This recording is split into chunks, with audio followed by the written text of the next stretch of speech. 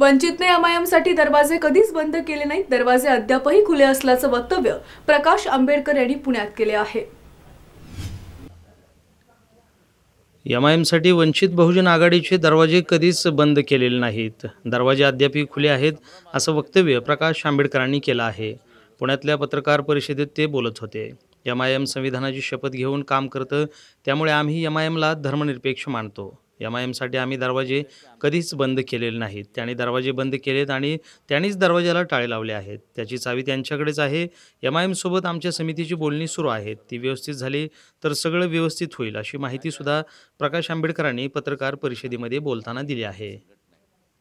आंतरराष्ट्रीय ख्यातीचे doctor B S Bhosale यांचं आशा होमिओपॅथिक क्लिनिक आजाराच्या मुळाशी पोहोचणारी आधुनिक उपचार पद्धत निराश होत आहे. कशासाठी?